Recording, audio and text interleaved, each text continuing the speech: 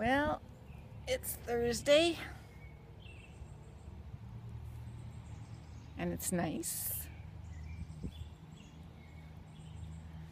And this was the second last day of school. Mm. Said goodbye to all the students. Now we're down to the nitty gritty of packing.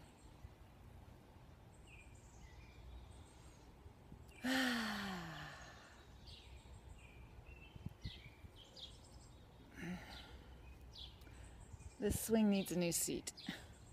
It's Not terribly comfortable. You probably get probably get one of those plastic ones for it.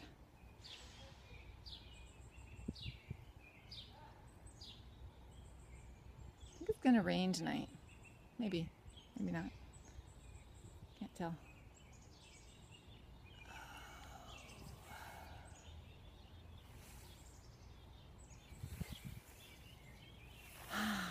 Everybody was uh, satisfied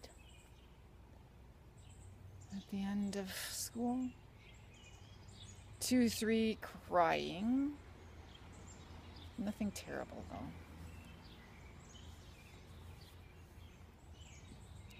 My Muslim man, who I thought would be, you know,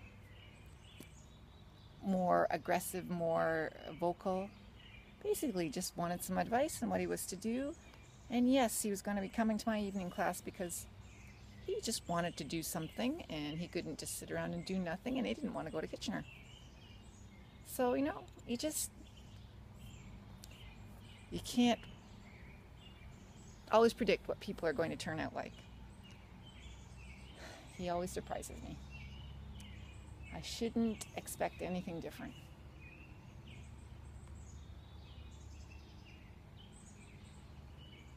Got lots of little gifts. The really useful one I got from Michelle yesterday.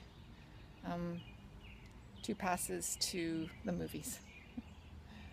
Otherwise, I'm going to get stung to death here. Um, they're kind of iffy gifts, but whatever. They're meant genuinely and nicely.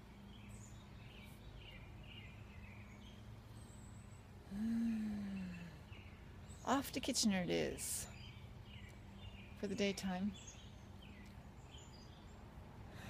That'll be interesting.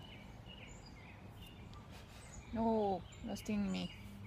I think I'm gonna leave this place here. Too many mosquitoes. Ta for now.